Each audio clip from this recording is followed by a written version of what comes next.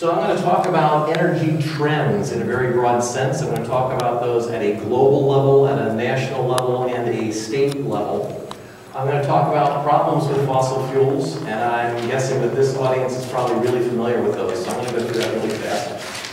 Um, I'm going to talk about sales trends, electric vehicles, solar, and wind, and what's happening in those industries, and then I'm going to focus on Michigan and what's happening with renewable energy here in Michigan.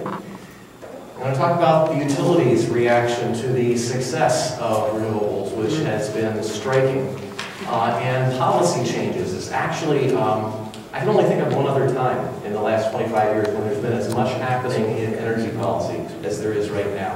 Uh, so from that perspective, we live in exciting times.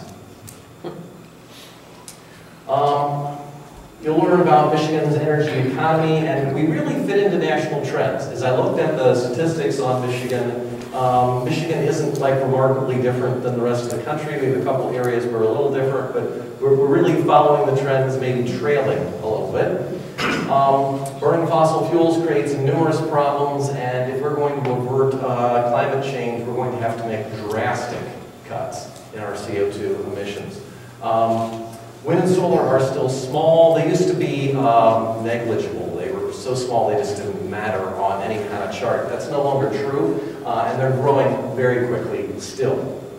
Um, rooftop photovoltaic installations are now perceived as a serious threat to the utility companies, and they are striking back. Um, and Michigan energy policies are undergoing some dramatic changes right now. I'm going to talk about those. So we talk about fossil fuels, and I just like to set the, the historical tone here. Fossil fuels are relatively new. Until the Industrial Revolution, all of our energy was renewables. Remember we used to talk about alternative energy? It was the alternative to fossil fuels and nuclear, right? So before the Industrial Revolution, there was no alternative energy. This was the energy, right? If you wanted to get uh, warm, uh, you lit a fire, and that was usually wood. It might be peat, it might be dung, but you burned something, and it was a biofuel. And if you wanted to get some work done, you hooked up some horses, right? Muscle power was the dominant way that uh, things got done. Uh, you, you, might move things with sails, and if you wanted to do some real industrial sort of activity like grinding grain, you use the power of the wind or the power of water. It was all renewable. There, there wasn't, these weren't alternatives to anything. They were the way things were. If you look at uh, energy consumption in the world uh, with the start of the Industrial Revolution, um, you can see originally here we've got biofuels, right? It was all biofuels. And then we started adding coal, and then we started adding uh, oil and natural gas and hydroelectric power and nuclear. And you get this exponential growth curve of our consumption of energy so that um, in the period from 1820 to 2000, we uh, increased our consumption of energy 25-fold. And so we have in our society now at our disposal energy slaves, machines that do all kinds of wonderful work for us because we have these vast amounts of energy available. That curve's just a little misleading because uh, population was growing exponentially during that period as well. In this curve, we're looking at world energy consumption per person right? And you see there, there's still that sort of you know exponential curve there, and you can see the, the different fuels uh, coming online. Um, but it's about a factor of four increase in per person energy consumption since the Industrial Revolution.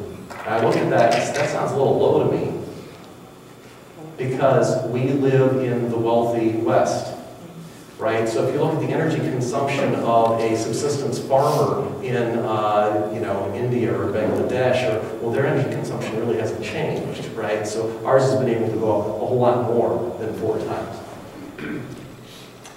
Moving from the global numbers to the national numbers here, this is the history of energy consumption in the United States um, from the Industrial Revolution.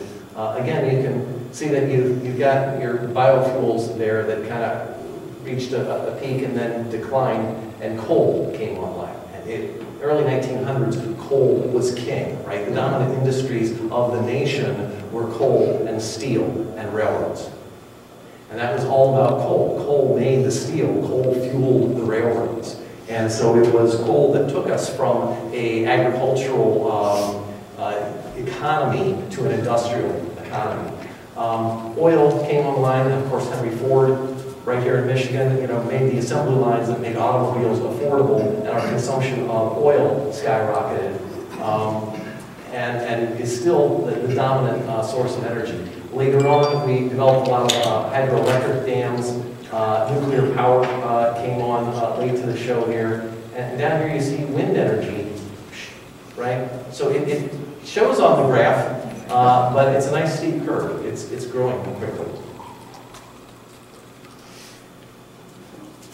It's a little bit dangerous to always look at aggregates, right? An average can hide a lot of information. So, you know, not everyone in the world is consuming the same amount of energy, and in fact, there are dramatic differences. So this is per capita energy consumption in the United States. You see it hasn't varied all that much um, in this time frame. Um, energy use in the former Soviet Union, you know, fell as the Soviet Union fell apart. Uh, European consumption.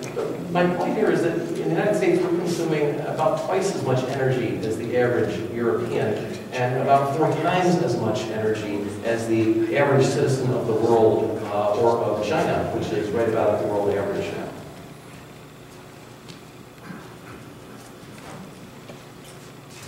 This is a view here in the U.S. of uh, where we get our energy, and you see that petroleum is still king, and its second cousin, natural gas. Natural gas is often discovered with uh, petroleum. Um, coal is, is smaller, but still important. The nuclear powers is still a chunk there. Renewable energy, 10%, sounds pretty good. Um, but a lot of that is still hydro which isn't really expanding much in this country. We've developed the uh, good hydroelectric situations. Wood, we're still burning good deal of wood. Biofuels here has grown, and that really represents ethanol and biodiesel. And we've got a sizable ethanol industry here in Michigan. Um, wind is now, you know, kind of on the map, and the solar is still very small. Okay, this is a very busy chart, but I love it. Um, so this is U.S. energy use, and then I'm going to show you the same chart for Michigan. Okay? On the left side here, we've got sources of energy. These are called primary energy sources. Petroleum, biomass, coal, natural gas, geothermal, wind, hydro, nuclear, solar. On the right side, we've got sectors of the economy that consume this energy. Transportation, industrial, commercial, it's typically office buildings, uh, shops and things, and residential, our homes. And in between there, we've got electricity generation. So electricity generation is just an energy conversion, right? It consumes primary energy sources and produces electricity that's then used in these other sectors. Um, all of the solar, practically all the solar energy, uh, all the nuclear energy, nearly all the hydro, nearly all the wind, uh, all go into electricity production. Um, a chunk of natural gas, a vast majority of the coal, and a little smidgen of petroleum and biomass go into electricity production. Electricity production consumes about 40% of our primary energy, and we can do so many wonderful things with electricity. That conversion process is not terribly efficient. Uh, about a third of the energy is, becomes useful electricity, and about two-thirds becomes rejected heat power plants throw off enormous amounts of waste heat and require cooling.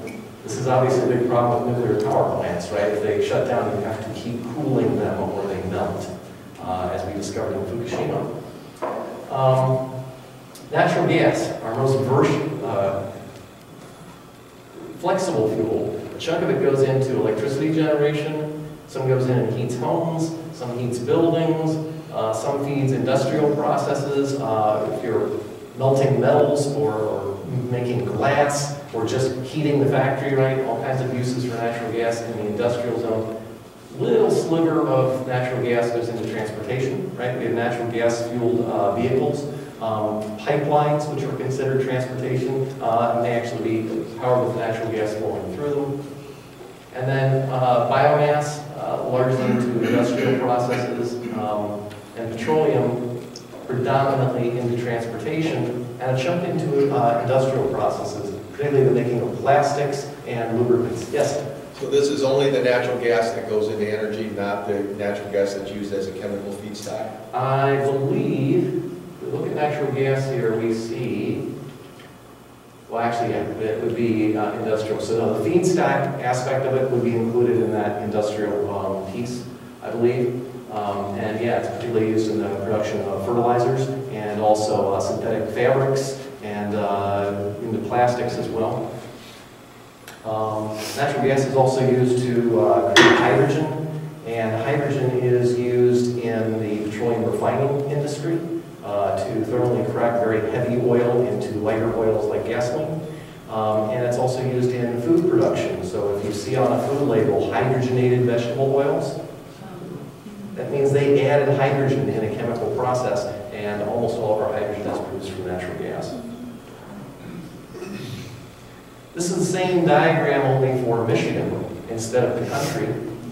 Um, You see the same sort of thing, solar, nuclear, hydro, wind, uh, feeding into electricity generation, some natural gas.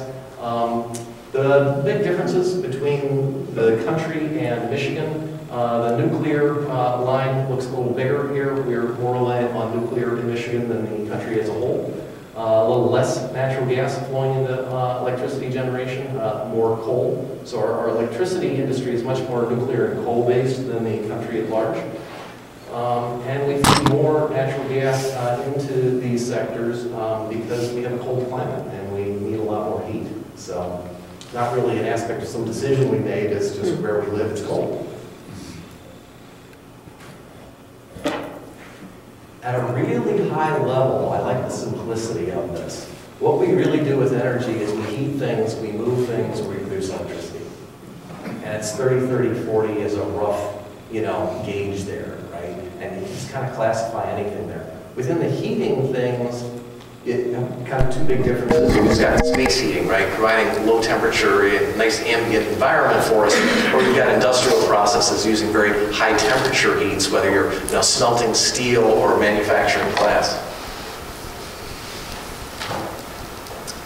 Focusing on the electricity production aspect of it, because that's where renewables really uh, are playing the role, uh, at least so far. Um, This is electricity generation in the United States. Uh, Number one is natural gas. Coal has now been displaced into number two position uh, in the uh, country, and nuclear is number three. Uh, You've got a chunk of hydro there, oh, wind, five and a half percent, um, not too shabby, uh, biomass and and other. In Michigan, the pie chart almost looks the same, but the, the quantities are swapped around. Uh, So at the top, we've got coal, and number two is nuclear, and natural gas is number three, wind at 4.2%. So a little less than the national average, but still a significant player.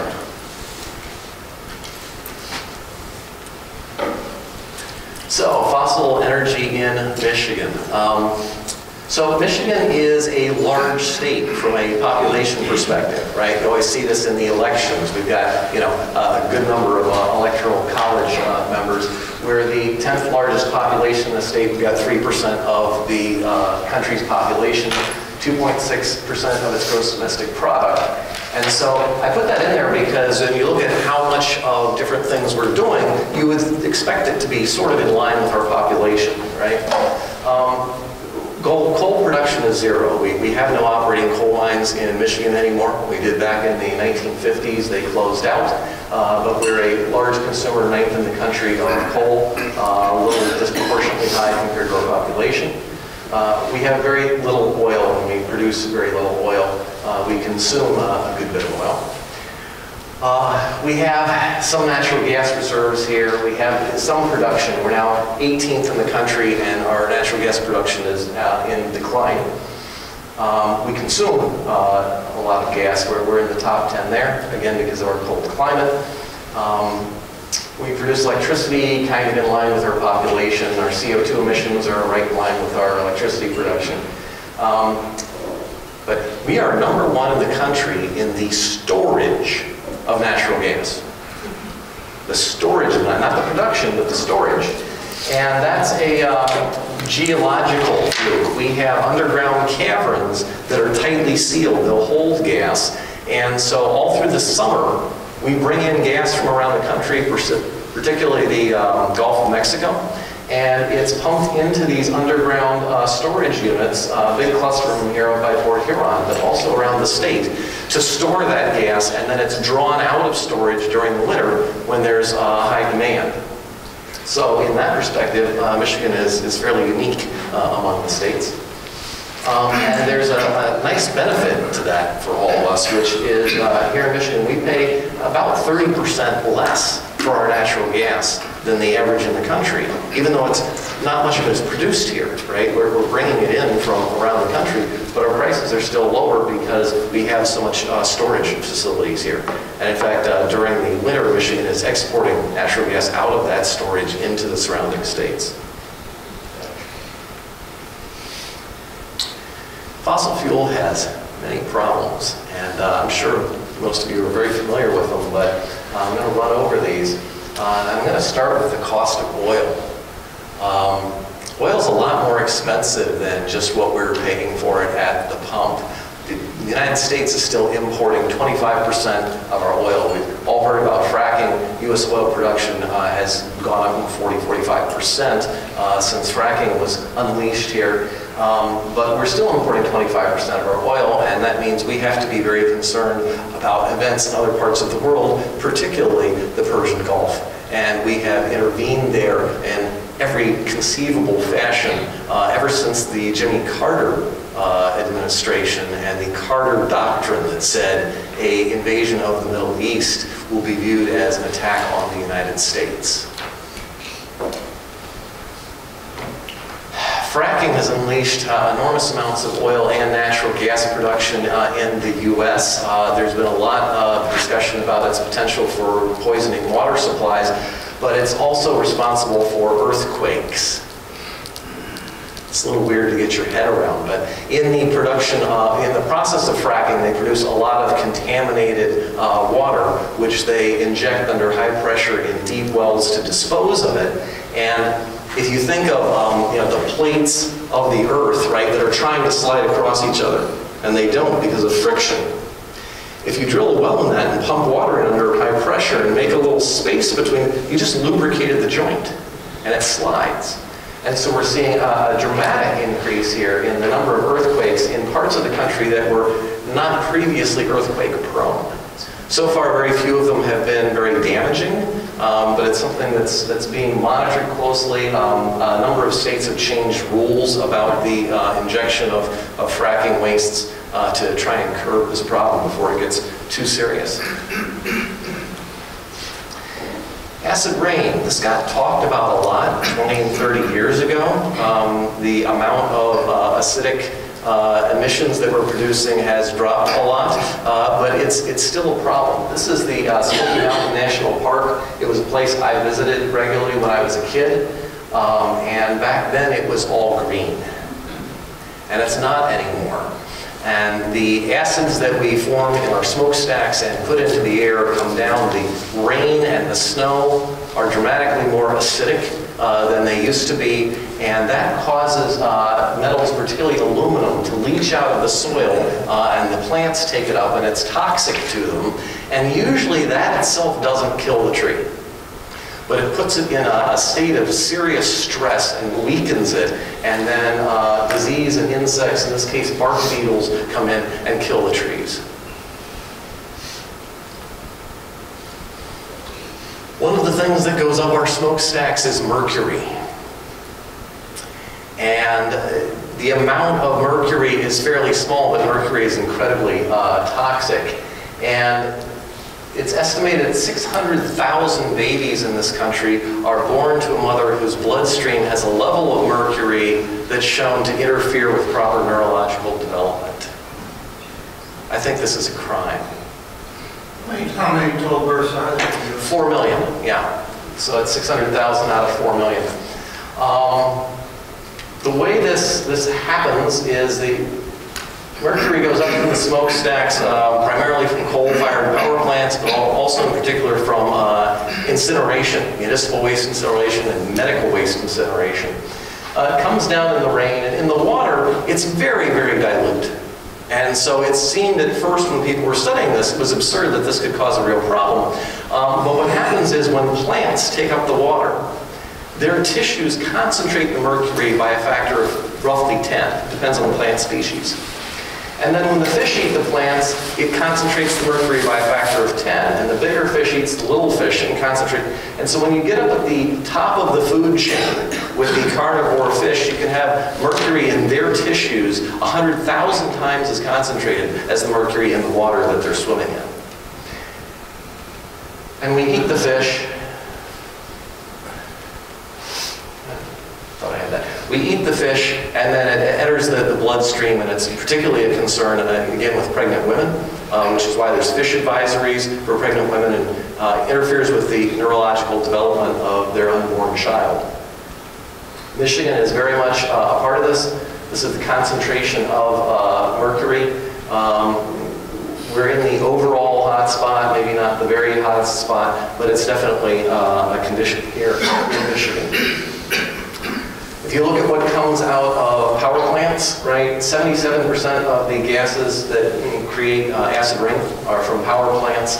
50% um, of the mercury, as well as toxic metals, arsenic, nickel, chromium. They're all just tiny little components of the coal, and we burn them, and they end up in the air. But perhaps the, the thing that's killing us most from our uh, pollution is particulates. Tiny little bits of unburned material, usually carbon, sometimes sulfates, uh, that are emitted from the uh, power plants. And the very smallest ones, the, the larger ones our lungs know how to deal with right? We evolved to uh, stop dust and pollen from penetrating into our lungs. Our lungs are lined with cilia. But the very smallest particles, particles less than two and a half microns, go right through that penetration, enter through our lung tissue into our bloodstream, where they cause heart attacks and strokes.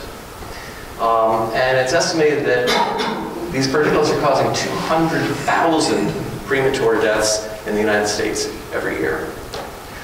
Um, between 1980 and 2000, our lifespans here in the U.S. increased by 2.7 years, and they're estimating 15% of that uh, came about because of the reduction in particulates as a result of the Clean Air Act.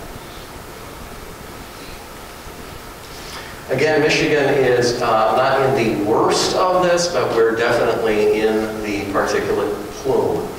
Um, a recent study showed that an increase of 10 micrograms per cubic liter. And if you look at this, you know, we're in the realm of 11 to 12 micrograms versus out here they've got zero, so that's an increase of about 10. Will increase women's risks of fatal heart attacks by 42%. Did you know this? So pollution matters. And notice I haven't even mentioned global warming yet. Right? So it's kind of a pet peeve of mine that uh, when people talk about pollution now, they almost make it a synonym with global warming as if that was the only pollutant we need to be concerned with. And I disagree. Uh, our air pollution is causing shorter life, strokes, heart disease, asthma, lung cancer, reduced lung function and low birth weight. Those are the things we're really rather sure of based on the studies. There are implications tying it to learning disabilities, Alzheimer's, depression, autism, obesity, birth defects, and diabetes, a number of which are pandemic in our society right now. But we got to talk about climate change.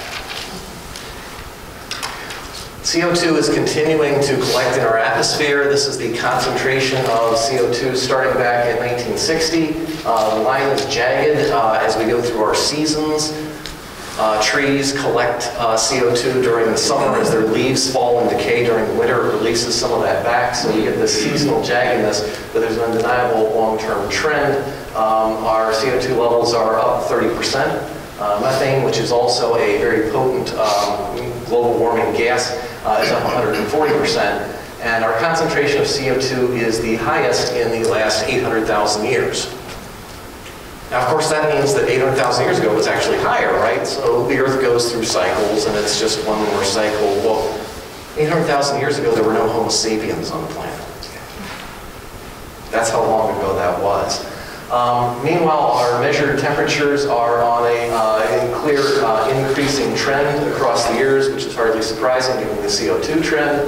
And if you don't believe the thermometers, uh, the Arctic is melting back. It uh, doesn't show very well, but the area covered by Arctic ice uh, has been decreasing steadily. The ice has also been getting thinner, and the area of the North Pole has shrunk by 10 times the area of the United Kingdom. Most of us aren't really familiar with the North Pole. We don't really look at the map and see how big that is, but it, it's getting rapidly smaller and thinner. So starting in the uh, 1950s and 60s, the US Navy was measuring the thickness of the North Pole because as part of the Cold War, we would hide nuclear submarines under the ice and they'd want to be able to send up a bomb, blow up the ice, break through the ice, and launch their missiles in the event of nuclear war. And so they were measuring the thickness of the North Pole. They mapped it out very carefully, and what we're discovering is that it's um, getting rapidly thinner. So how are we reacting to this? Well, we're reacting by pumping larger quantities of CO2 into the air every year. Not really what you'd want uh, to, the reaction to be. Um, and the per capita emissions of CO2 are uh, much higher in the US than China, Europe, the rest of the world, just as our energy consumption is higher. Uh, obviously consequential to that is our CO2 emissions are higher. So how much would we need to cut our CO2 emissions to bring the uh, environment back into balance? Um, the IPCC, uh, which is the UN organization studying global warming, uh, say that you know we're emitting um, 6.92 billion tons of uh, carbon a year. That's about 0.9 tons per person, right? 0.9 tons of carbon or 3.3 tons of CO2. It can get confusing reading this because some things report carbon weight, some report CO2 weight. The CO2 is heavier because you've added oxygen to it. Um, to keep global CO2 levels before, below 450 parts per million requires reducing emissions to 3 billion tons per year. So that's the amount that the nature, natural processes, particularly uh, rain and uh, some other things in the atmosphere, can remove CO2. They can, they can remove 3 billion tons of carbon a year. Um, but we're uh, emitting uh, 6.92, so we need to cut our CO2 emissions 57%. Now that doesn't sound too bad, right? More than half, you can cut it down. We'll take a brief pause uh, for musical rendition. So that sounds eminently doable, right? We can cut our emissions 57%. I mean, it's going to take some work, but it's doable. But remember, our CO2 emissions are not evenly distributed. Um, so if you look at different countries, you know, Bangladesh down here doesn't need to cut at all because their CO2 emissions per person are already below what uh, nature can remove. But, you know, in Canada, Australia, and the United States here, we're, we're way above that need to cut down to, to here. So uh, what would that look like? And, um, you know, I had to do the, the calculation. So our emissions are about 15 and a half tons of CO2 per person. The target's one and a half tons, so we need to cut 90%. Now I'm guessing this is a pretty climate change aware audience. Had any of you heard that number before? Yeah. Me? I, I, I, went out and I looked and, and, and, I didn't find it anywhere and I came up with this number and I'm like, can that really be true? And then I found this chart and it's like, well, yeah, I think they don't want to tell us this because if we heard it, we might get hopeless. So this is where our CO2 comes from. Electricity generation uh, is lead at 40%, transportation another 34%. So imagine if all of our electricity production was zero carbon. It was all wind, solar, whatever, and all of our vehicles were electric vehicles charged off of that zero carbon uh, power system. That would reduce us 74%. We wouldn't really get to the 90. But it'd sure be a good start. So let's start there. Let's not lose hope. Let's light a candle rather than curse the darkness. And let's talk about the war on coal. Um, electricity production from coal in the United States is on a uh, steep decline. Uh, If you look just back in 2003, we were getting 51% of our electricity from coal and 17% from natural gas. Now we're getting 30% from coal and 32% from natural gas. The decline in coal use in this country is driven only in very small part by solar and wind. It's driven primarily by cheap natural gas, which came about from fracking. So our electric grid is getting cleaner, and our uh, emissions of all those nasty chemicals and CO2 are all falling as a result of fracking. These are uh, coal power plants in the U.S. Uh, These green ones here were proposed and defeated. Uh, And amongst existing plants, we've got the the sort of reddish pinkish ones here were retired and retirements announced. There are a lot of coal plants closing in the country. They tend to be the older plants and the smaller plants. Um, But they, they are closing. Uh, If you look at this trend in Michigan, um, back in 2009, we had 66% of our electricity came from coal, and now that's down to 36%. So Michigan's definitely uh, a part of this trend, moving away from coal and to uh, natural gas. And a little bit of wind. DTE made a really dramatic announcement here. Uh, They said they're going to reduce their CO2 emissions 80% by 2050. 2050 is a long time away, a lot can happen between now and then with an announcement. But they said a 30% reduction by the early 2020s, 45% by 2030. They're going to add 6 gigawatts of renewable energy, 3.5 gigawatts of natural gas, with a steady retirement of coal plants, 11 by the early 2020s. Three of them were retired in 2016 and they'll be at zero coal by 2040. Uh, The DTE CEO said that the goal is 40% renewable energy, mostly wind, because, and I quote, "wind continues to be substantially cheaper." This is an economic decision made for economic drivers, which is why the price of renewable energy is so terribly important. If you look at uh, investments being made in uh, power plants, um, let's see, we have fossil and nuclear here. So in 2016, uh, this is the investment in billions of US dollars here in uh, fossil plants and nuclear plants. This is the investment in solar PV, in wind energy, in large-scale hydro, biopower, and other.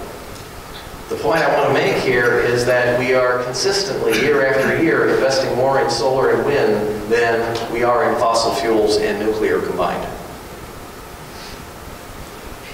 I think that's really impressive.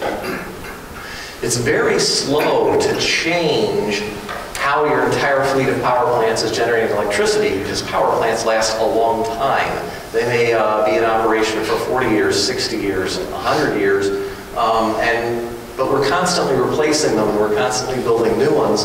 Uh, and, and so looking at where we're investing in the new ones is really telling you the direction of the future. Global electric production, um, if you look here, non-renewable electricity uh, is still three quarters of it. The renewables are about a quarter, but a big chunk of that is hydropower. Uh, wind's about 4%, solar PV is about 1.5%, so wind and PV, 5.5% of global electric production. Uh, this was in 2016. They're growing so fast, I think 2017 would be about 6.5%. So it's moving. So when we look at renewable energy systems and we talk about how much renewable energy costs, and this is so central to the discussions right now, right? 30 years ago, they said renewable energy just didn't work. And then when it worked over and over again, they said, well, renewable energy just can't scale. And then when, we built uh, 100 megawatt wind farms, they said, well, it's just too expensive. And that's where the argument is riding right now. But um, the, it's not just the trends are in our favor, the facts are in our favor. Uh, there's two ways to look at the pricing here. Uh, the easy way to get good numbers is the installed cost per watt of generating capacity, right? This is a real one-time cost. When you build the thing, you know what it costs, right? Um, it, it's very clean. Within uh, policy and regulatory areas, they like to use the levelized cost of energy. So if you have this system, whatever it is that's going to generate electricity, what did it build to cost? What did it build to feed it fuels necessary to maintain it through that lifetime? What was its total lifetime cost? How much electricity did it generate over that lifetime? Divide the two, and you get this levelized cost. But um, inherent in that calculation are some assumptions about interest rates, the cost of equity, and tax policy, right? Which can complicate all that. So uh, if people are projecting the levelized cost of something we just built, uh, it- it's still subject to, you can have different studies come up with different numbers, right? Whereas if you just say, well, what did it cost to build it? Well, that, that's pretty clear. Um, Lazard is a uh, consulting firm that computes levelized costs of power production for all these different technologies. They release this on a regular basis. This is their uh, 11th revision uh, of their report. Um, and the, the bar is here, so let's just take solar PV rooftop residential, right? Those are costing something between $187 and $319 per megawatt hour of electricity produced. Okay, most of us don't deal in megawatt hours, right? So what's that mean? Well, it's not too hard to slide the decimal point over, and this would be 18.7 cents per kilowatt hour. Still pretty pricey, right? What do people pay for electricity? What's on your electric bill in terms of cents per kilowatt hour? How many dollars a month, right? Because I don't know how much you use. Hmm? .076 per kilowatt is our my bill. The total, my total bill in- from December, the total kilowatts and then the total lifetime is close to 18, but I pay an extra penny a kilowatt hour for 100% renewable. Right, right, yeah. I was gonna say, so up at mine, it's about 17, I'm paying 2 cents for the renewable, so it's really 15, right? The 7.6 that you're looking at is one of the charges on your bill. I mean, I'm sure that number appears there, right? But they'll typically break out the generation cost and the transmission and distribution costs separately, and you've gotta add those up. Electric bills can be very confusing, right? I, I like his approach. You just take the total bill and you see how many kilowatt hours did I use and you divide. That's really what you're paying, right? Um, whether it's taxes or fees or, or you know, uh, a lot of different ways it's broken out. Anyway, looking at this, uh, let's look at the cheapest things, right? The things furthest to the left. And those would be uh, gas combined cycle, right? Uh, Lots of um, natural gas power plants uh, being built around the country. Um, Wind, lots of wind farms being built, and solar PV, thin film or crystalline utility scale. These are the cheapest ways to generate electricity right now. And if you look at what's being built in the country, it's exactly those three things. There are very few coal plants and only two nuclear plants under construction in the country. It's all about gas, wind, and solar, particularly gas and wind. Now, do these, do these figures include the cost of storage? Since different forms. The storage of different models for electricity, Storing they do not, no. That's a very good point. They also do not include uh, any sort of government incentives or subsidies. So things like the production tax credit and the investment tax credit do not show up on this chart. They actually have another chart just like it that includes those, that uh, shifts the renewables significantly to the left. Uh, You showed how uh, Michigan was bigger than the rest of the states in gas storage. Yes, How does it store, how does it rank with other states with uh, energy storage? In terms of electricity, Yeah, well, like, uh, Yeah, yeah. So um, if you look at how utilities can balance out their load by storing uh, energy temporarily, right? The predominantly and leading way that's done all across the world is not with batteries. That's what you read about right now. Batteries, batteries, and there's some of that being done, uh, particularly in Hawaii and California. Uh, but the predominant way it's done is with pumped storage. And again, Michigan kind of falls right in line with that. We have the Ludington Pumped Storage Facility. It was uh, built uh, when uh, two of our nuclear power plants were constructed, so the power plants could be run uh, all through the night. And at night, they pump water uh, up into the reservoir on the hill, and during the day when we need the electricity, they run it down through turbines and generate electricity. And it acts in net like a giant battery. Um, Specifically to your question, I don't know how we rank with other states. Well, my information is that there's only five states that have more energy storage. I believe that. I believe that, yeah. Uh, that There's not a lot of pump storage facilities in the US. Yeah. California has uh, water reservoirs in the mountains, and so at night they pump residential water up into the mountains, and in the daytime they get the water and the power back. Mhm. And uh, the Tennessee Valley Authority is the other area where people get back the next day. They're also in Iowa doing some energy storage with compressed air in underground caverns, but I don't have any figures on that. If you look at the deployment of solar and wind um, as a percentage of electricity supply, uh, Europe's in the lead. What we've got here is blue for wind and red for solar. Uh, They're getting, you know, 11 plus percent of their total electricity from wind and solar, but the United States is uh, second there, uh, at maybe six and a half percent. Japan, no, Japan is predominantly solar uh, rather than wind, which is different than all the other countries, right? And this development is, is ongoing. So this is where I said, you know, in the beginning, uh, solar and wind are now no longer trivial, right? You can't say 11% of your production is trivial. They're still pretty small.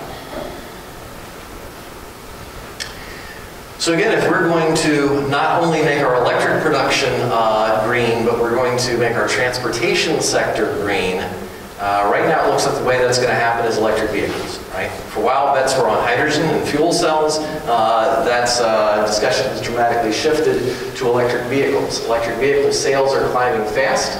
Uh, this is global figures. This is plug-in vehicles. So this would be either an all-electric vehicle or a plug-in hybrid. Um, the bars here show the number of vehicles sold in the year, and uh, these are in thousands, right? And then the orange exponential curve there is the total number of vehicles uh, in operation. There are 3.1 million plug-in vehicles in operation in the world. Now, it seems kind of strange to us here, I think, because Michigan is not where they are. Okay? About half of them are in China. And within the US, the concentration is highly in California, right? Uh, so we don't encounter them nearly so much. Uh, but they're still less than 1.5% of sales and 0.3% of the total vehicle fleet. Not enough to make much difference yet, um, and we'll see if the growth trends continue or not. Uh, this shows where they're uh, selling. So you can see the United States, you got two shades of red here. United States down here, China, uh, about half of the world's uh, sales. Where's our color codes? Oh, the European Union, Norway. Norway has the highest per capita concentration of electric vehicles in the world. So if anybody says electric vehicles don't work in cold climates, um, yeah. These are projections of electric vehicle sales uh, from two different uh, consulting firms showing these exponential growths. The uh, U.S. Uh, Energy Information Administration is not so uh, rosy about their future. Um, I'm not big on these kind of projections because I've just seen them be wrong over and over, over again. Uh, time will tell uh, what comes from that. But suppose we were going to replace our fleet of petroleum-powered internal combustion engine vehicles with electric vehicles. What would that mean to the electric grid? Here in the US, we drive about 3 trillion miles a year. That's one with 12 zeros, right? And as I look at different electric vehicles out there, they get roughly 3 miles to a kilowatt hour. Just like we say how many miles per gallon, we get 3 miles to a kilowatt hour, right? Um, so at 3 miles per kilowatt hour, we need to add a trillion kilowatt hours of electric production if all of our transportation was going to be electrified. Uh, we're producing almost 4 trillion kilowatt hours, so we need to increase our production by about a quarter. I think that's just an interesting statistic, right? If you did that and you said, well, we have to increase our electricity production tenfold, that would be very disturbing. Um, 25% is, is doable, particularly if the vehicles are charged at night when so many of the power plants are idle, although that might not apply if more of the power plants are solar, in which case we might actually want to charge them midday. The automakers are all in a race. The, the news is, is full of electric vehicle news. Uh, France and the United Kingdom have banned internal combustion engines by 2040. Wow. VW's pledged 40 billion in uh, research and development money. That's not development, that's not actual production money over the next five years. Yes? Is this a ban, or is this a ban on production? That's a great question. I believe it's a ban on new sales, not operation. Uh, There are 24 EV models available in North America right now. I surely couldn't name them, and uh, there's only two or three that are really dominating sales. Uh, GM's pledged two new EV models in 18 months and 20 by 2023. Ford's going to invest 11 billion in EVs by 2022. That was just in the recent news. Daimler has uh, pledged 10 billion. There's a lot of investment, a lot of R&D uh, going into electric vehicles. There's a lot of policy discussions about uh, recharging stations and how we're going to do that. Um, but we're going to move on from electric vehicles and talk about wind power. Um, so I'm going to talk about gigawatts of electric generating capacity. And it's, it's kind of a big number, right? So for comparison here, uh, a large power plant is about one gigawatt. So the Fermi nuclear plant is 1.1 gigawatts. Um, total electric generating capacity in Michigan is 30 gigawatts. In the United States, 1,074 gigawatts. And I'm just throwing those numbers out so when I show you other numbers, you have a basis of comparison, right? Is, is 400 gigawatts big or small, right? And, and well, it's, it's pretty big, right? And- yes? Is that per year? No, so this is generating capacity. This is how much, if all of our power plants ran at the same time, how much power they'd put out. Now, we don't run every power plant all the time, right? They- They're shifted to meet demand, and so we call that comparison a capacity factor, right? What percent of their theoretical output are they actually producing the way we operate? So if you look at, say, a nuclear plant, they're operated uh, pretty much 7 by 24 unless they're down for refueling or maintenance of some kind. And they typically have a capacity factor of 98%, right? They're putting out pretty much as much power as they're rated to put out all the time. If you look at wind or solar, where you don't decide how much it's going to produce in general, right? Uh, you, you might cap it on rare occasions, but in general, it's maybe a 30% capacity factor on uh, wind, sometimes 40 in a very good wind site, um, or solar down at 20, 25% of capacity. So if you compare a gigawatt of wind with a gigawatt nuclear power plant, you're kind of comparing apples and oranges, because the nuclear plant's going to put out more power, more total energy, same power, more energy over the year, uh, because it's operating 7 by 24. So this is a global capacity and installation of wind. So the total bar here is the amount of wind capacity uh, that's installed and operating, and the top there is the amount that got added. So at the end of 2016 in the world, we had 287 gigawatts of wind power production, or capacity. Given that the whole US is 1,074, that's a lot. This is not trivial. And 55 of that was added uh, during the year. About half of that was in China. China is the world leader in EVs, solar, and photovoltaic, and wind. And it's not a small leadership. They're way out ahead. So here you see uh, China's installed base and their additions during the year. Uh, the U.S. is number two here, um, and other countries uh, behind that.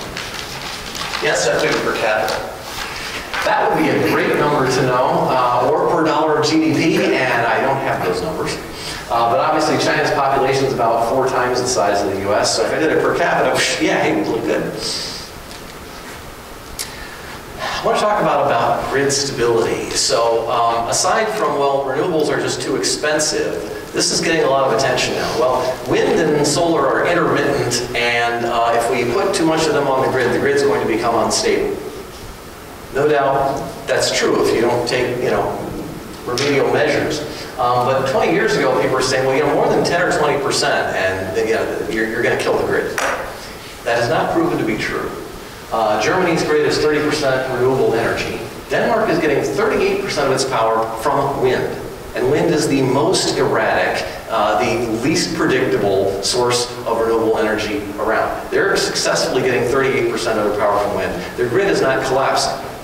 However, the way they're enabled to do that is that during periods of low consumption and high wind, so windy nights, Denmark is pumping electricity into its neighbors and, and flooding them with uh, low-cost wind power um, and causing them to dial down their uh, fossil fuel power plants um, by, by flooding them with wind. So you need a good, strong grid intertie and somebody else to soak up the excess uh, at that level. Uh, is getting 30%, 36% of its electric power from wind, um, the leading state in the country. But my point is, one way or another, these grids have all remained stable. It's, it's, it's possible, it's doable.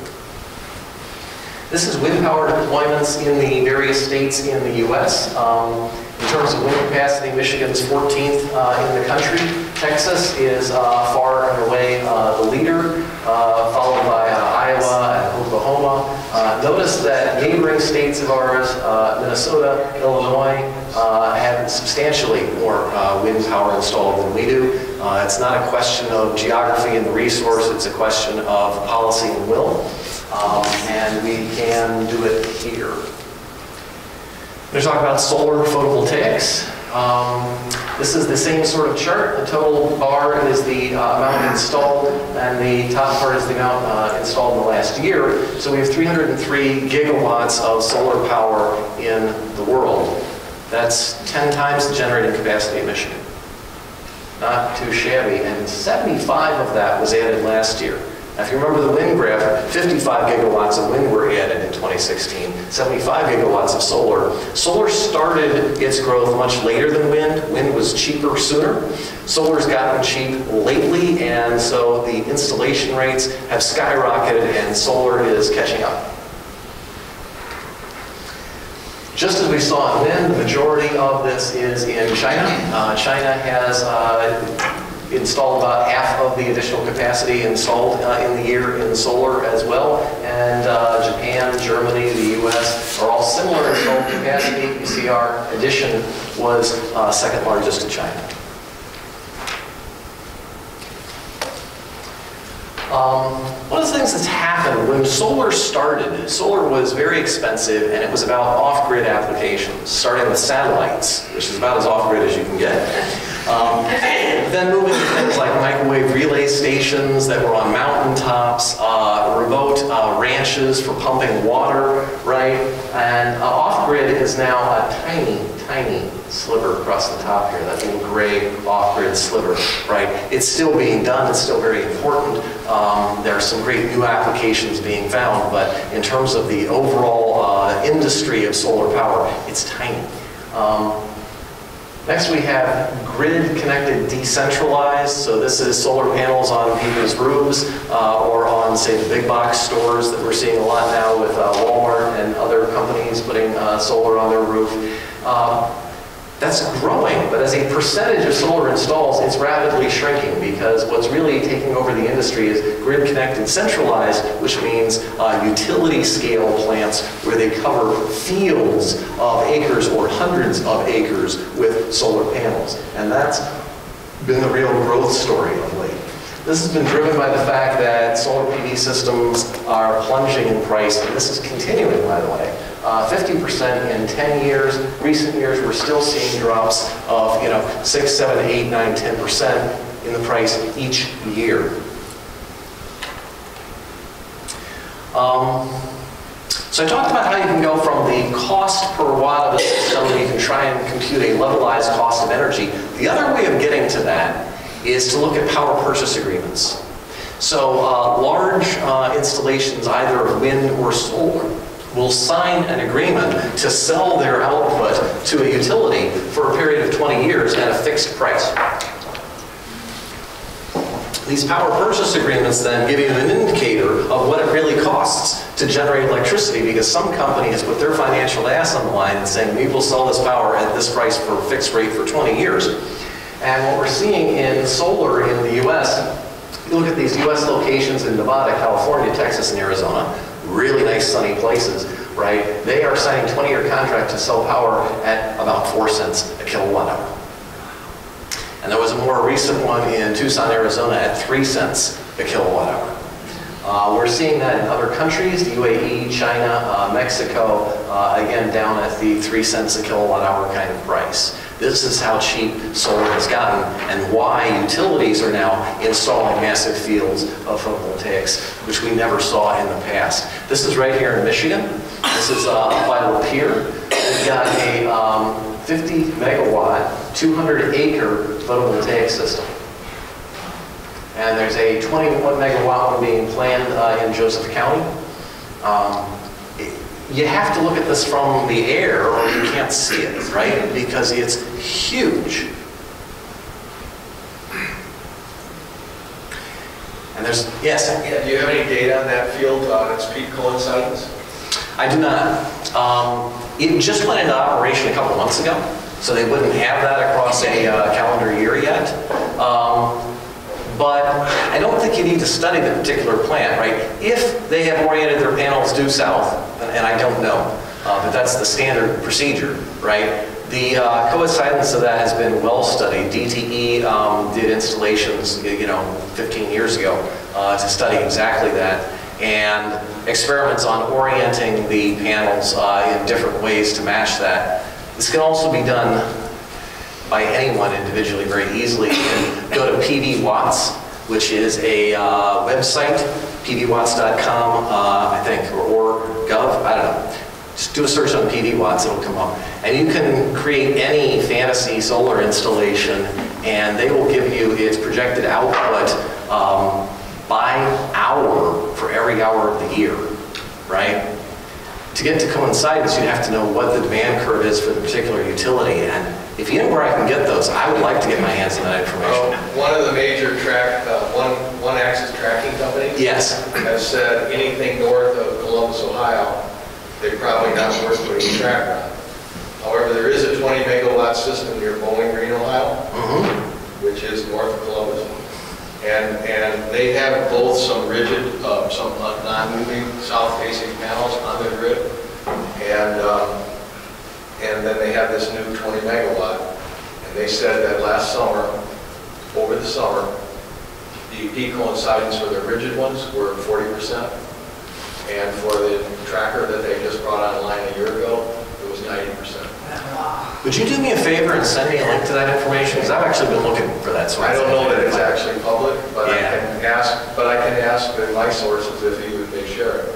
Um, That array has been very, now in the wintertime, it's not as good because it's a one-way tracker, so at noon in, in the winter, it's not very good. But when, winter isn't our peak demand time anyway. Um, But that coincidence was uh, uh, remarkable. So this is a big discussion point. I want to kind of bring, because I know he knows what he's talking about, but, um, so if you have an intermittent energy source like this, the question is how do you meet fluctuating demand? And it's very nice if your source happens to match roughly what the demand is, both through the hours of the day and seasonally. So certainly in Michigan and in most of the country, our peak demand is in the summer, when we have a lot of air conditioning running. Uh, In particular, in the summer, um, sort of, not noon, but later in the afternoon, and actually in the evening, about 6 PM, when the office buildings are still air conditioning, and we all drive home and turn on our air conditioners at home and fire up the electric stove and the microwave and the television, and our peak demand can hit right there at 6. This has been a big problem in California, which has a very high solar penetration, that the solar is producing, you know, at noon and 1 and 2 in the afternoon very nicely, but at that peak at 6 PM, they're down to close to zero if they've done a fixed mount facing due south. Now, there's a couple of ways with solar you can try and address that. He's talking about one, which is you put it on a mount that tracks the sun across the sky, and therefore it turns west as the sun's going down. And its output will go down somewhat because the sun's coming in uh, through more atmosphere and at a low angle. It- It's going to be less, but it captures much more of it than a fixed mount. The other alternative is to position the fixed solar panels, but not face them pure south. Tilt them somewhat west. You're going to produce less kilowatt hours per year, but they're going to be produced more in the afternoon hours, which is when there's actually more demand. Yes? And what's nice for that system in Bowling Green is that Ohio is on the PJM system, which reaches out to New Jersey. And so they have the advantage of being on the west end of Yes. their uh, rate structure. The other way to address this is with transmission, right? So if the peak demand on the northeast coast, where we have a huge amount of population, right, is at 6 PM, well, that's only 3 PM in California, right? Um, So, and and there's been some of that in, in Europe that talked about long-range transmission to, to try and uh, adjust for these peaks. All right. Uh, jobs. So I had to have at least one slide about jobs. If you look at the United States here, right, uh, this is jobs in millions. No, can't millions. Hundreds of of thousands. So 242,000 jobs in solar PV in the United States. Um, the industry uh, group says 260,000, close enough. Uh, 102,000 in wind power, right? There's a lot of jobs in this, and I'm going to talk about why that's important a little bit later here. Um, If we look at renewable energy in Michigan, um, renewables are 7.3% of our total energy, right, versus a US average of 9.5%. Um, So, you know, we're a little behind.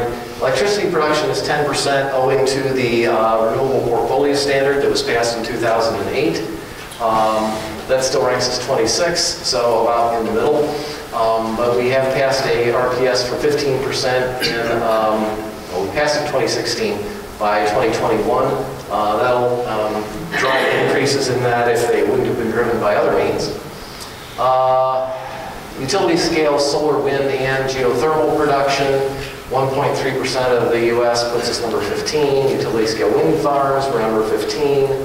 Ethanol production, we're number 12. Um, Nothing really remarkable here, right? We're not leaders, we're not, we do pay uh, higher than average residential electric rates uh, in Michigan, and I looked at that, and it's not really that our overall electric rates are higher, it's that the residential rates are higher, um, which I guess has something to do with the the way it's regulated. Uh, Renewable electricity in Michigan, 72% wind. We've got some hydroelectric, a little biomass, landfill gas. So if you see we've got landfills, and they're drawing the gas out of that, uh, the biogas that's produced and running generators with it, municipal solid waste. But point is, it's predominantly wind and solar is really tiny. Um, That installation at um, Lapeer, that I showed you the picture of, increased the total solar generating capacity of Michigan by about half. This is the growth of renewable energy in Michigan. Uh, You see there just wasn't much uh, here until 2008. Uh, We had a number of policy changes there, including the RPS. And you'll see most of this is wind, wind, wind, and you've got these tiny little bars here of geothermal, uh, distributed solar, and utility solar. It's pretty much all about wind. Uh, Where is this in the, in the state? Uh, It's predominantly in the thumb here, and then we've got a concentration out here um, between uh, Alma and Mount Pleasant, and a few other installations around the state, but predominantly in the thumb. Um, I used to sit in an office that was along uh, I-696. I would watch or the uh, trucks go by with the wind turbine blades on them. I'm like, headed to the thumb, aren't you? You know?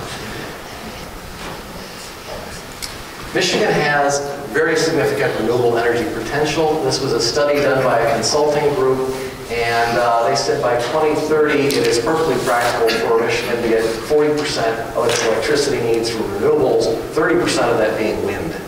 So they're still looking at wind as the uh, predominant source, and uh, some solar and some central biomass power. Yes?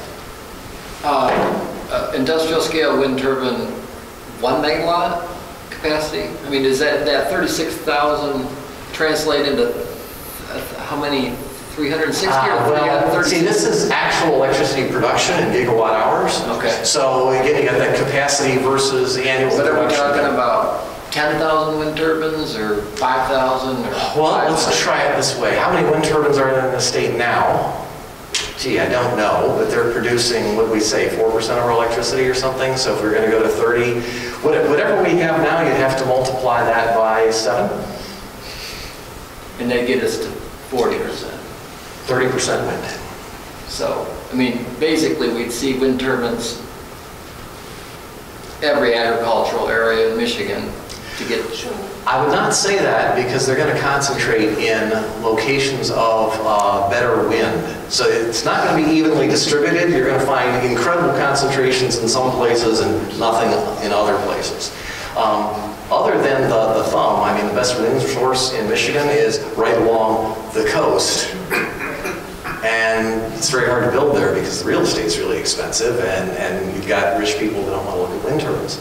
Um, but this study must have taken that into account, that, well, well, they're saying it- it's possible, but is it practically achievable because of, are people gonna visi- Yeah. visibly allow So the study looked at the natural resource and it looked at the economics. I don't think they looked at the political backlash that. Which is important, but it's really hard to predict. So what does renewable energy cost in Michigan? Well, the Public Service Commission, as part of the uh, law that passed the Renewable Portfolio Standard, is required to do an analysis of this every year. And they look at uh, power purchase agreements entered into by Consumers Energy and Detroit Edison, um, spread across wind, um, biodigesters, uh, biomass, landfill gas, hydro, and solar. And they compare this to, they did a study and said if Michigan needed to add electric generating capacity, which we don't because electricity demand has been flat or declining uh, for a decade, um, but there was a there was a proposal to build a new coal-fired power plant in the Bay City area, and they determined that that would cost about $133 per megawatt hour of electricity uh, life cycle cost of that plant. And the wind PPAs that are coming in are at $71, uh, substantially less, and even the solar ones are coming in less than that cost. Now, it's a little bit of an unfair comparison um, because nobody's building coal power plants anymore, right? Uh, they're building natural gas power plants. The current uh, discussion, there's an analysis going on in the Public Service Commission right now, and they're saying a new natural gas power plant is somewhere between 9 and 10 cents uh, a kilowatt hour, or be uh, 90 or 100 dollars per megawatt hour, so still more expensive than wind, uh, cheaper than solar, right? But it's dispatchable, you can turn it on when you need it, right? Can't do that with the wind. Um, both of these energy sources are growing rapidly, and like most industries, they have economies of scale. So the more of them we build, the better we get at it uh, in a whole variety of ways. And every time global wind power doubles, we see a 19% drop in cost. Now, I don't know that that can continue forever, but it's been continuing throughout the lifespan of the wind industry. Solar, every time it doubles, costs are falling 24%. As the prices fall, that stimulates demand, right? There's more applications which it's economical, more it gets installed, which makes more economies of scale, which makes the price fall in a virtuous cycle. Meanwhile, uh, electric utility rates are not falling, they're going up, or at least the residential ones. And so obviously, the solar's getting cheaper, electricity is getting more expensive, uh, at some point, those cross and this becomes highly desirable but not someday. It's already happened. So uh, this was a Department of Energy study that was done, and they looked at 50 of the largest American cities today. And they said, suppose a homeowner put a solar system in, and they financed it in their 30-year mortgage. Would their savings in electricity exceed the increase in their mortgage or not? And what they found was that in 93% of the single-family households in the 50 largest cities, it would save you money. Um, and that was conducted a couple of years ago, and the prices have fallen since then. Uh, as you might imagine, the utility companies are not wild about that. So that was based on just the kilowatt, as if you had 100% net metering like They were assuming that metering, yes. Um, so if you look here uh, in Michigan, a typical install is about five kilowatts on a home system, which costs about $15,000, about $3 a watt on a uh, small scale system right now, about a dollar a watt on the utility scale systems. It's about $15,000. You can get a 30% uh, investment tax credit on that, which knocks you down to, they're very rough figures, right? $10,000, we're trying to keep things to round numbers. I've done this in very exact figures and spreadsheets and stuff, but uh, in mid-Michigan, that would produce about 6,300 kilowatt hours a year, saving about $800 a year. This would more than cover the payment of adding $10,000 to a 30-year mortgage. It would not cover the payment on a 15-year home equity loan right? I compared it across all your different kind of loan types and then said, you know, what, what can you do there? So it is a, with net metering, it is a marginally good uh, investment, and there's good reason to do it if you have a uh, suitable location and you're going to be there for a while, because it's hard to say if you sell your house what the new purchaser is going to value that system at, right?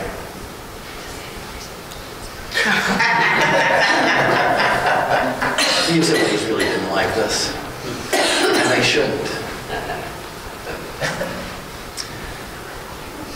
So Energy uh, CEO said that uh, small-scale wind, solar, and net metering constitute a mortal threat to the existing utility system. And it's true. Uh, The Detroit Edison Institute warned of irreparable damages to revenues and growth prospects of the utilities. This was out of Forbes in 2013. Why did 2013 this start? Well, it started with the uh, Edison Electric Institute doing a study on this, and, you understand the future is already here, it's just unevenly distributed. So the things the utilities are worrying about happening, they didn't have to forecast and guess. It was happening in California and Hawaii.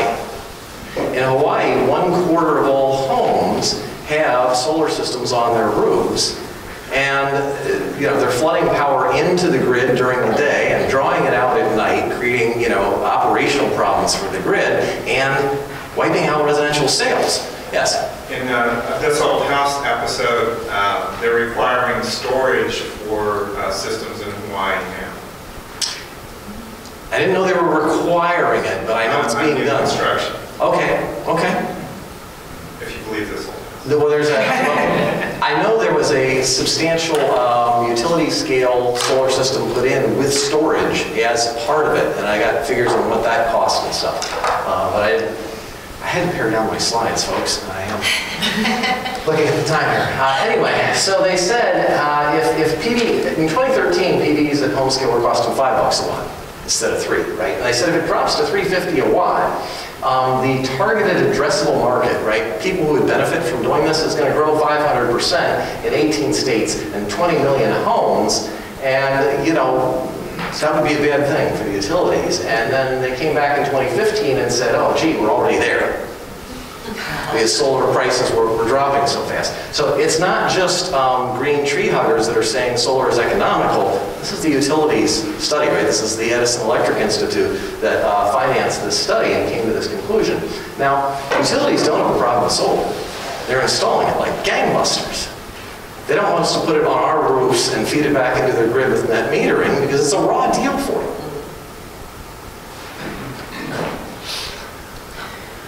And so they're jumping on net metering, right? Um, the current state net metering policies that compensate at the retail price of electric sales to utility are outdated and need to be updated. As long as we're connected to the grid, we still use it and we should all continue to pay for it, right? If I put on a net metered system on my house, I'm producing the same number of kilowatt hours I produce in the year, my net bill to utility is zero. But I'm clearly getting a benefit from using their grid. Am I costing them money? I'm certainly costing them sales. That's a point of some ferocious contention. Um, this fed into kind of uh, lobbying and the, the public opinion. This was a Wall Street Journal editorial called The Hole in the Rooftop Solar Craze. And I just love this picture. We have solar panels and money just blowing away. So policy, which I really wanted to uh, get into here, we've got five things going on in federal policy and three things going on here right in Michigan right now that are really significant in terms of renewable energy. Um, First off, at the federal level, we have the production tax credit. Uh, This is for large-scale systems, and it provides a tax credit of 1.9 cents per kilowatt uh, to the producers of that power. This is expired for everything except wind power. I'm talking about this because you'll hear people say, well, you know, renewables are just too expensive, nobody will be doing them except for the subsidies. There's some truth to that. But it's changing. It's it's gone for everything but wind, and wind is being phased out. It's being reduced 20% and then 40%, well, 20% last year, 40% this year, 60% in 2019, right? There's already a phase out built into this. The investment tax credit, so at the residential side, you can get a 30% uh, tax credit for uh, only solar.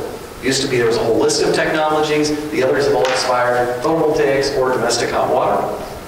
And there's a phase out on this, um, 26% instead of 30, starting uh, at the end of 2019, and then it's down to 22%, and fortunately, I forgot to get the the tail end of that, but I think it drops down to to 10%.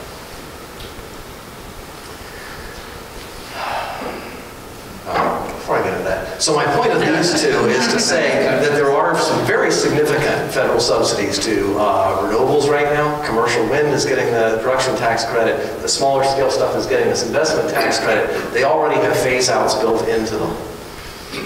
The latest news, uh, the Trump administration has uh, put a tariff on the import of solar uh, modules and uh, cells of 30%. Uh, This is a result of a filing, oop, sorry, filing from uh, two U.S. solar manufacturers. Um, At least they're based here, they're actually owned by foreign companies. Um, It's 30% in the first year, and then it also has a phase out, and the first two and a half gigawatts of imported cells are excluded from the tariff. They have not yet uh, announced how that two and a half gigawatts is going to get allocated. Whether it's a first come, first serve, and we're going to have freighters full of solar steaming into the harbors on January 1st, um, or are they going to allocate that by country or by company, or it's unclear at this point. Um, But everything after the two and a half gigawatts, uh, and we're importing a lot more than that, is going to be subject to the tariff. Um, We're currently importing about 90% of all our solar modules. So this is very significant for the solar industry. This isn't going to, you know, nip at the heels. This is, this is going to the heart of it. The uh, solar energy industries is estimating a loss of 23,000 solar jobs because less solar will get installed because it's more expensive. Um, Mostly at the utility scale, um, because the price of the solar panels themselves is a much larger percentage of the utility scale systems. Um, and there's a significant chance this will be overturned by the World Trade Organization. Uh, Several prior tariffs that were imposed under uh, the uh, ITC uh, Section 201 were overturned in the past. This makes the whole thing very uncertain, which unfortunately makes it less likely we'll get the intended benefit. Right? The intended benefit here is that we'll manufacture more panels here in the US, but you're not inclined to build a factory if it might get overturned in a few months, right? Um, Jumping topics to PURPA. So the Public Utility Regulation, Regulatory Policies Act, this was passed act in 1978 during the energy crisis. And what it says is that if you build a renewable energy facility meeting certain criteria, the utilities must buy the electric output from you uh, at a price of their avoided cost. However, it did not address how you compute the utilities avoided cost. It left that to the state regulatory agencies, and different states have taken very different methodologies to uh, how they would compute that. Um, the Union of Concerned Scientists PURPA has been the most effective single measure in promoting renewable energy. I'm Not sure I agree with that. Um, certainly the federal level, I would agree with it, but state RPSs might have more to do with it than, than PURPA. Um, our own uh, Michigan Representative Tim Walberg has introduced HR 4476, uh, the PURPA Modernization Act. Um, uh, making a short story of it, it would, would make PURPA a lot less uh, potent.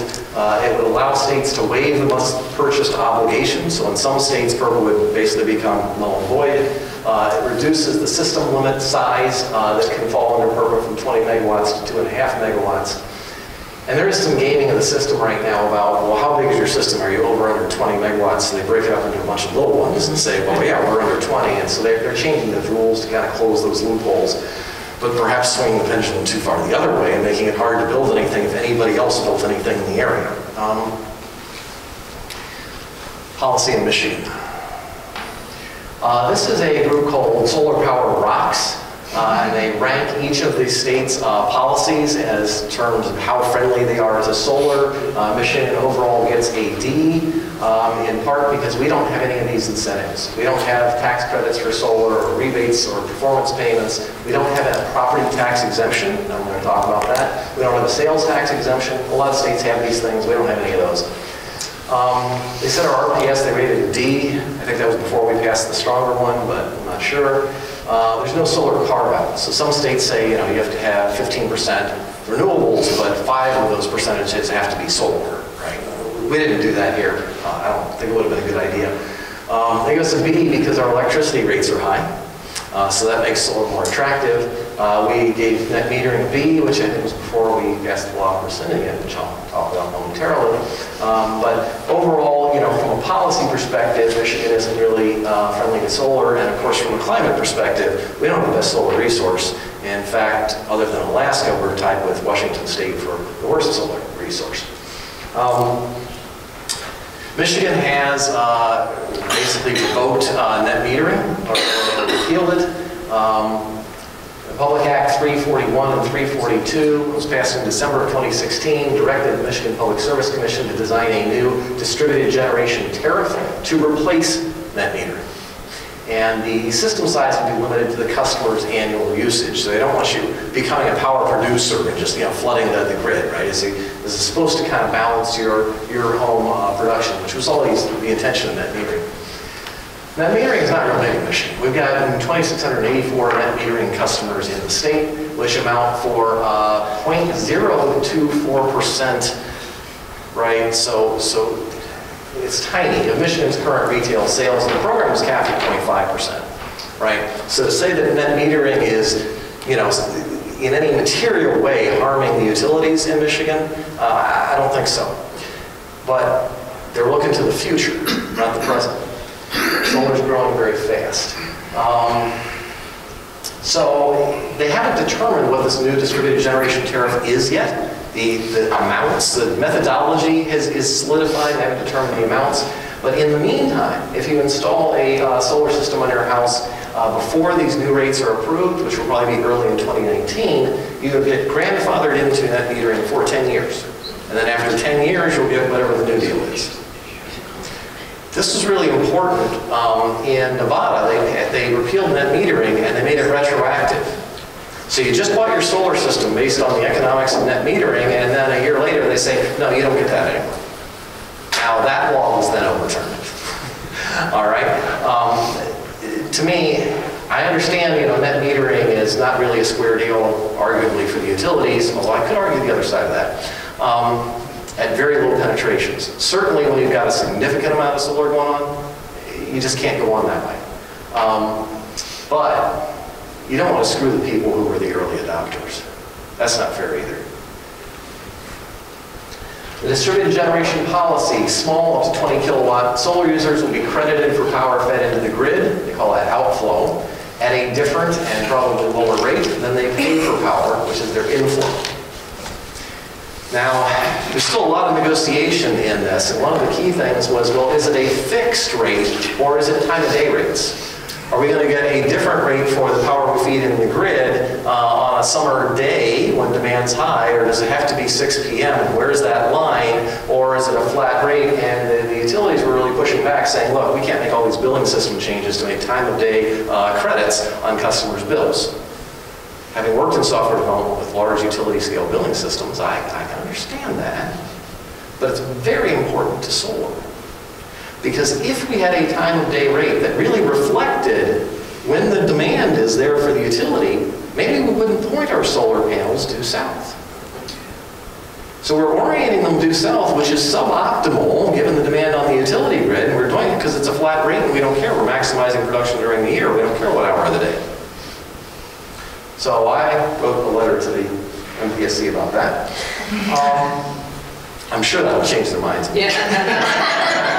Do the new uh, smart, do the new smart meters have the ability to do instantaneous uh, net buy and net sell? Instantaneous, I'm told no. Hourly, I'm told yes, but that's with an asterisk because there's different brands of meters depending on the utility you're, you're talking about. Um, but I specifically asked, that- I I talked to the woman in the MPSC who's heading this whole thing, and I asked her, well, because they said, power used directly on site would not be subject to this, right? And I said, well, used on site over what period of time? Is that instantaneous? Is it hourly? Is it, if it was by the day, that'd be great for solar, and terrible for the utilities, right? I mean, right now, it's really by the year, right? Because we carry forward a net meter metering credit. So do you change that to by the day or by the hour? She said they were looking at hourly, and that they were told the meters were capable. Right now in Ohio, it's based on the billing period, so it's still great for solar. Yeah, Yes. Some solar, not guys with brain drivers. Um, The tariff will be approved by April 20th, and the utilities will then include this tariff in their rate cases after June, and there's a long process. They're saying sometime in early 2019, those will get approved, and then that's the end of the 10-year grandfather on that metering, right? So, this is a great time to install solar. Uh, This is a quote from PV Magazine.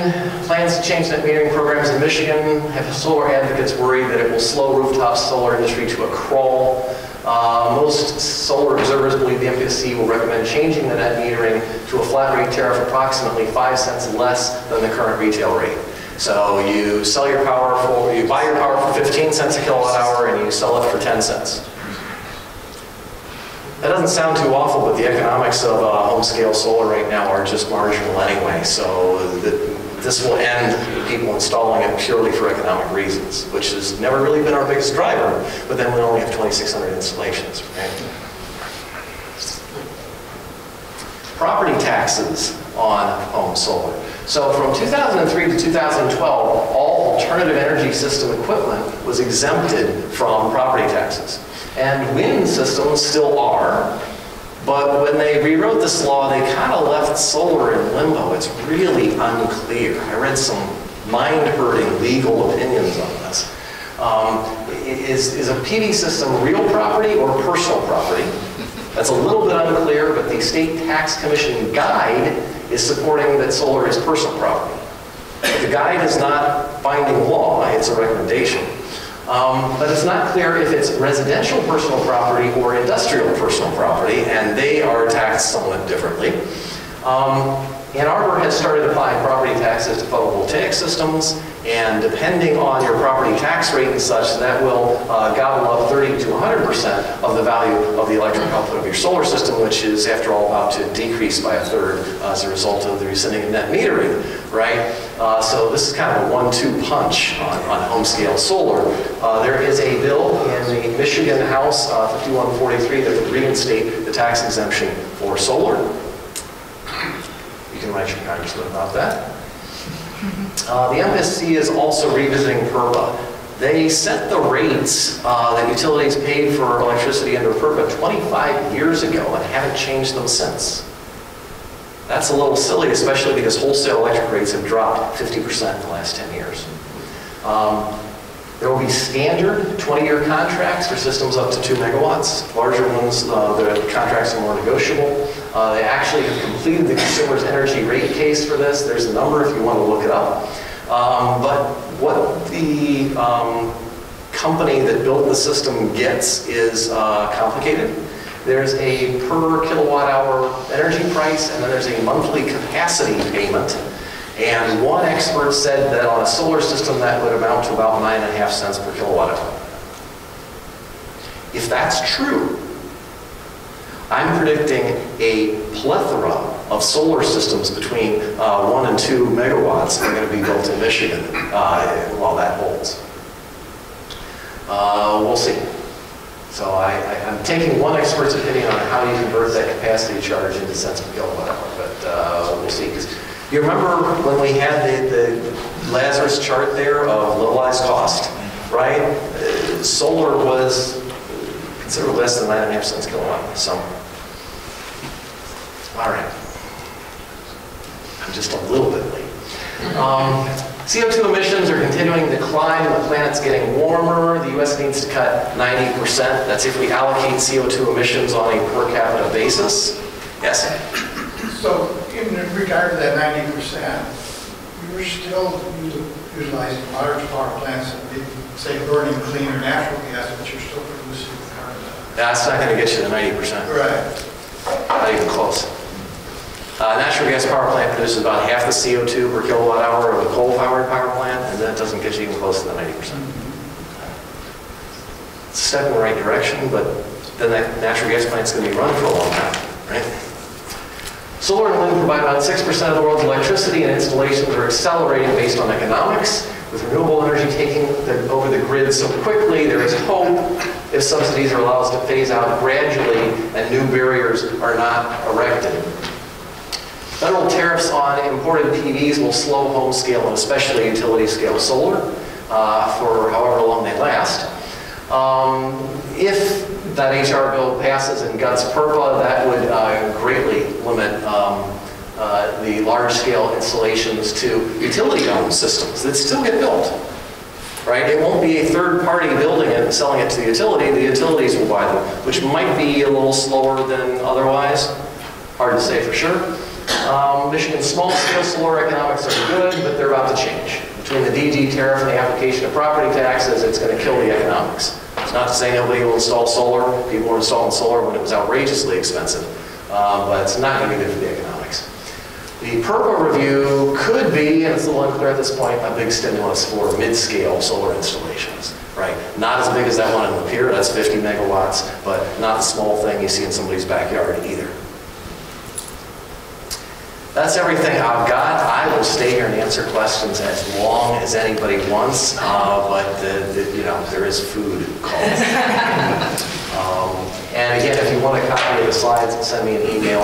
I'll shoot them to you. We're going to post them on the website.